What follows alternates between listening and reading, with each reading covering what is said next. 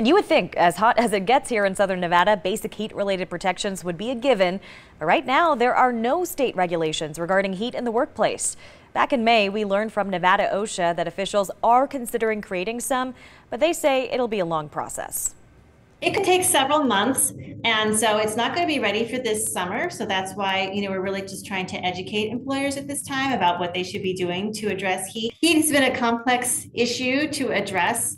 And so, you know, we've tried different strategies, and over time, we've had conversations. And I think that um, we once we are once we're ready to move forward, I think you know we'll have a lot of buy-in. You know, sometimes things take a while for um, for there to develop some consensus. State OSHA officials told us an employer mandated regulation is currently in the works and talks with stakeholders have been ongoing for more than a year. With the excessive heat warning going into effect later on today, that's at 11 o'clock this morning, Clark County will open its cooling centers for the day, but most of them will be closed tomorrow for Independence Day. The two locations in Las Vegas that will be open tomorrow are the Salvation Army off West Owens Avenue and the Courtyard Homeless Resource Center on Foremaster Lane.